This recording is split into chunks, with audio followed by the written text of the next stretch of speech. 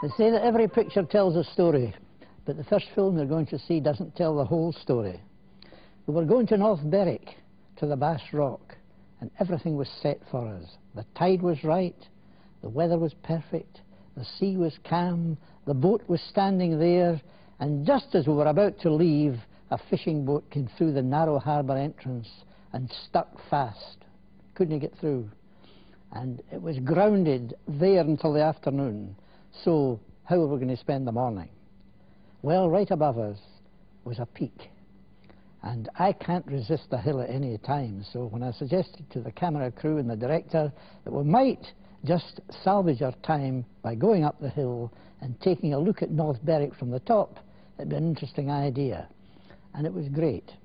Things held, went like clockwork, a beautiful, gentle climb to a very narrow summit with a very exceptional view. Ah well, I never could resist a shapely peak, and this wee beauty is North Berwick Law. It's an old volcano, and it's one of the great landmarks of the Firth of Forth. Ah, it's a right wee mountain, right enough, the way it rises so steeply. As you go up, it gets even steeper. Wee rock outcrops always break it up nicely.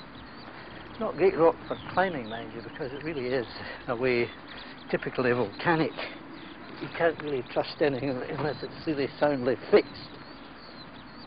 Oh, I'm almost there. Oh boy, this is going to be good.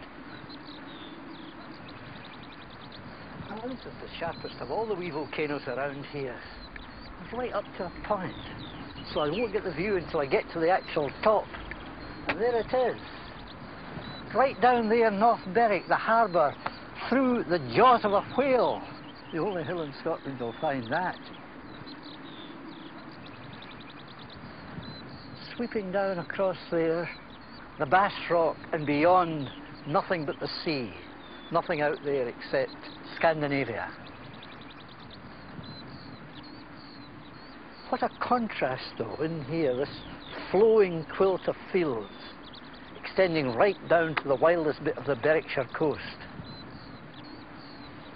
And in this other direction, the indentations of the sea, and right across the Forth, the Fifeshire Lomonds, Arthur's Seat, the Pentlands, and a beautiful piece of flowing country swinging right round over rocky tops to Traprain Law, an old Iron Age fort.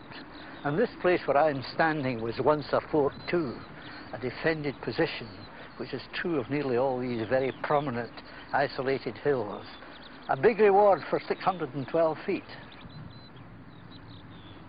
This is the hill that provided pink stone to build the old town and harbour. Wonderfully convenient in more ways than one, for the peak was used as a lookout in the Napoleonic Wars, and this old ruin was the actual lookout post. And right beside it is a concrete one which dates to the 1914-18 war. And just above that are the old jawbones, which were put there in 1936 to replace another pair that dated back to 1709.